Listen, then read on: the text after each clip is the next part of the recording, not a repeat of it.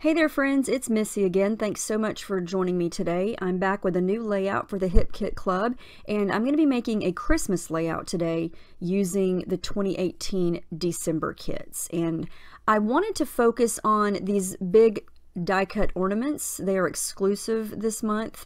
I think they're really cute and I wanted to kind of scatter them around, I would say the top three quarters of the page and sort of just have them hanging down. And uh, I decided to go with pattern paper as my background as opposed to white, which I use a lot. But I really like this light blue paper and I think it's really pretty mixed in with the pinks and the reds and the darker teals in the ornaments. So I'm going to use white gesso here to kind of soften up some of the paper, especially where the ornaments are going to go, because I wanted them to really stand out and pop off the page. So I coated the gesso on first, and then I started working on my background and realized that my button had not been pressed to hit record because I had a blonde moment and then I decided, oh, I should probably push that. But you didn't really miss anything because I'm doing the same thing here. All I'm doing is I'm taking the three uh, products that we got from Shimmerz in the color kit and adding just a smidgen of color to this white background here. I'm using the rednecking, which is the red, and I'm just splattering it down.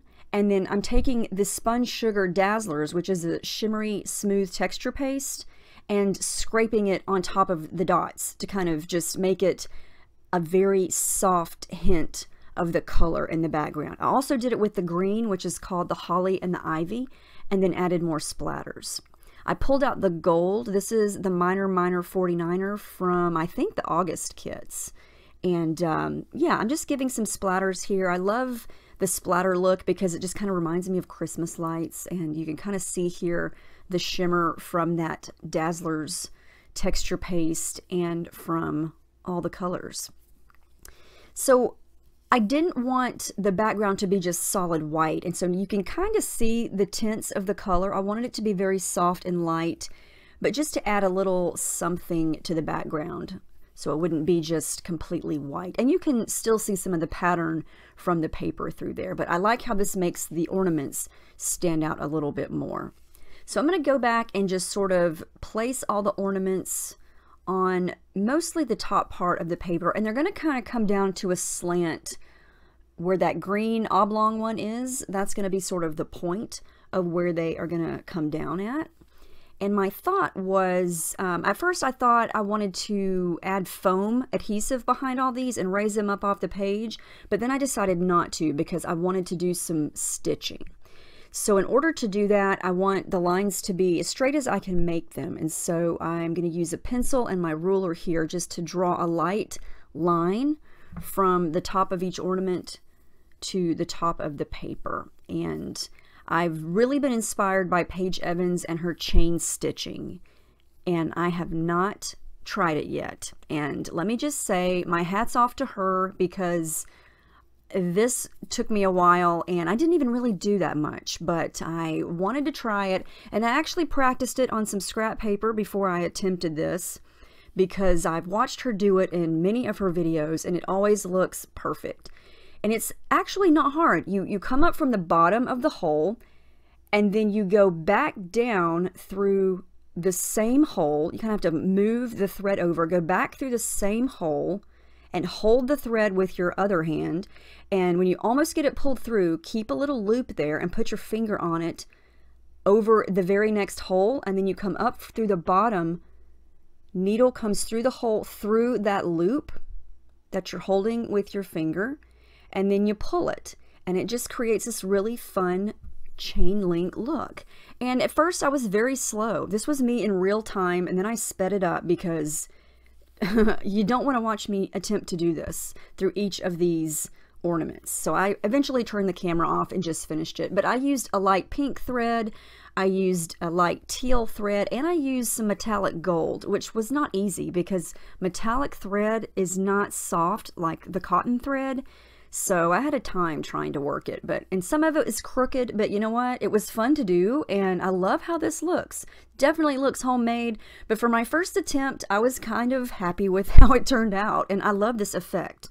It looks like the ornaments are hanging down, and I love that. And so here are the funny pictures that I'm scrapbooking. I've actually scrapped these a few years ago in black and white, but I printed them in color this time because her shirt matches those red and white striped ornaments perfectly.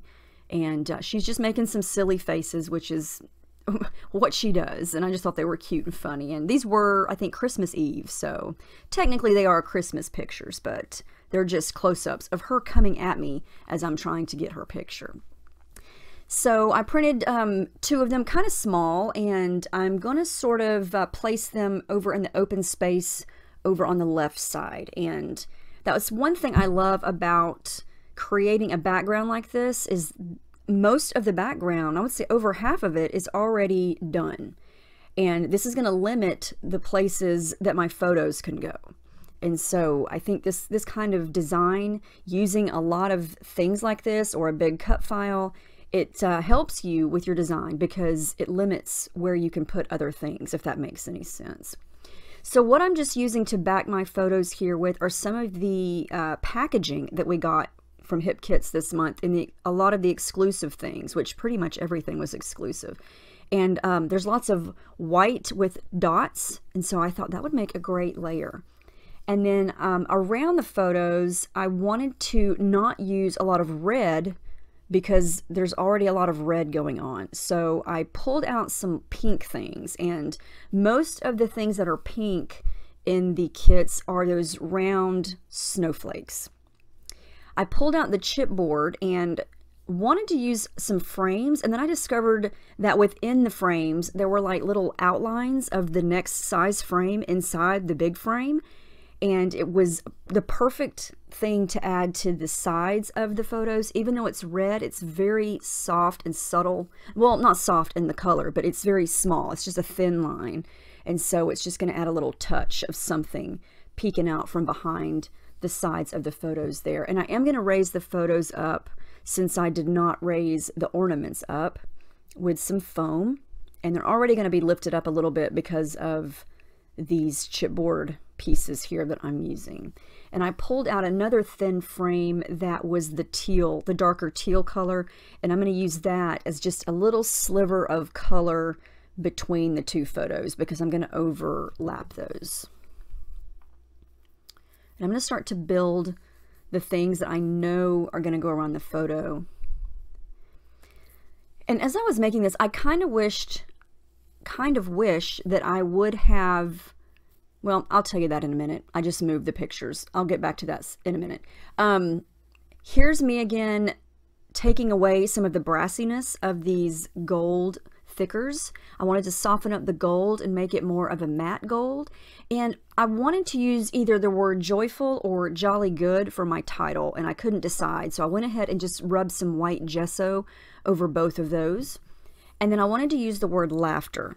So I was either going to have joyful laughter or jolly good laughter, but I didn't want to use laughter in navy blue because I don't have any navy blue going on.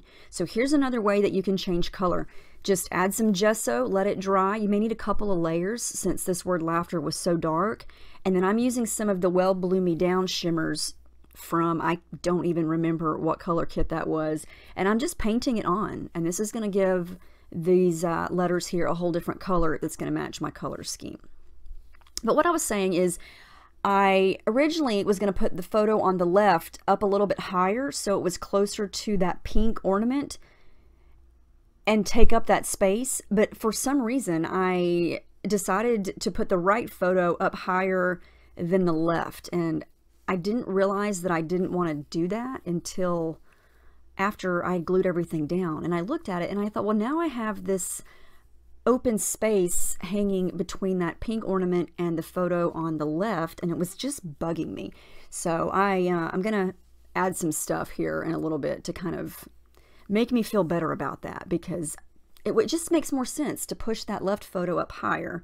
But I don't know. I just didn't for some reason. I don't know. But you see now what I'm talking about? It's bugging me because there's room to move that one up higher. But anyway, we'll see what happens as we go. So here's me trying to decide, do I want to use Joyful or do I want to use Jolly Good? I love the way both of those looked. But for some reason, the words Jolly Good just jumped out at me because I just love the word jolly, and you never get to really use the word jolly except at Christmas time. I just associate that word with Christmas, and she is clearly having a jolly good time. She's almost got her eyes crossed in the first picture, and she was basically trying to get away from me as I was taking her picture in the second one.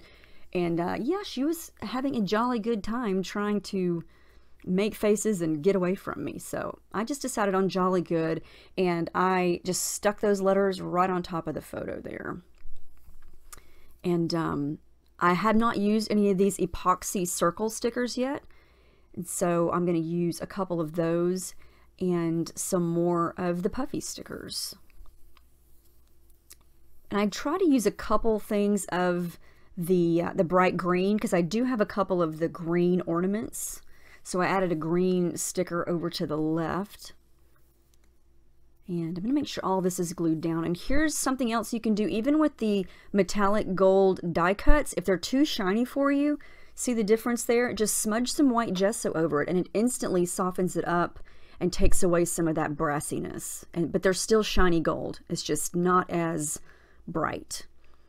And so here's me fixing that gap in between the, the top or the photo on the left and that ornament. So I'm going to add in a gold snowflake there and then a little poinsettia sticker or chipboard sticker and then that little Dear Santa die cut. And so that's going to kind of help that open space there. And now it doesn't look so bad.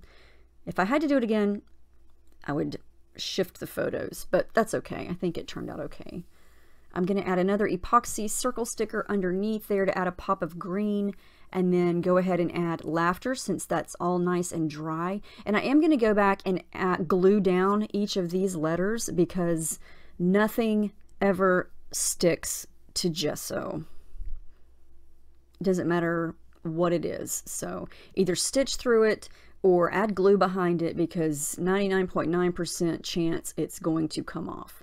Uh, the one of the last things I'm going to do is add a little bit of journaling, and I had a lot of space here for journaling, so I just decided to do a little bit over on the right, and I'm going to use my gold pen since I've got some gold going on. And then I wanted to add snow because I just think it's fun to add snow to Christmas pages, so I just watered down some white acrylic paint and then uh, go to town with my brush, just splattering here and splattering there. And that is going to wrap this up. I think, yep, that's the final layout. Uh, I really like how this turned out. I really love that uh, stitching and I think it was fun to do something different. I uh, every now and then I get a wild hair to do some uh, hand stitching and then once I'm done and my hand is all cramped up I'm like okay I'm good for about six months now I got it out of my system but the result is always really really fun and uh, I think it looks really cool with those ornaments so hopefully you guys enjoyed this let me know if you have any questions um, uh, I'm really enjoying seeing all of your creations over on the Hip Kit group over on Facebook. Keep them coming because they're really inspiring. And so, yeah, I will talk to you guys later. I hope you have a great week and a happy new year. See you in the next video.